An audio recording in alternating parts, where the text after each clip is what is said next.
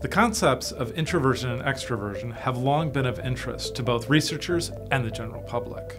We knew our students were interested as well. They worried that introverts would struggle in the workplace and that extroverts would have all the advantages. We wanted to give our students some reassurance, but we can't. We found that the personality trait of extroversion is a persistent advantage in the workplace. It's small, but it's there. It's like someone getting a five foot head start in a 100 yard race. Extroversion isn't just about sociability, and introversion isn't just about wanting to be alone. We found differences in motivation, enthusiasm, and assertiveness, and those can play out in the workplace. Even if you're in a place where you'd think introverts would thrive, being an extrovert is still to your advantage.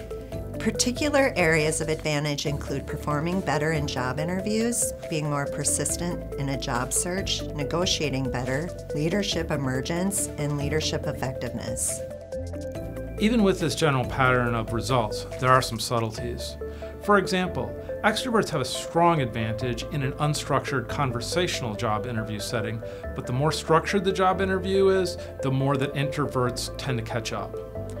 All is not lost for introverts, however. Introverts can learn to structure their day around when they feel more energy or more extroverted, and they can take time to recharge.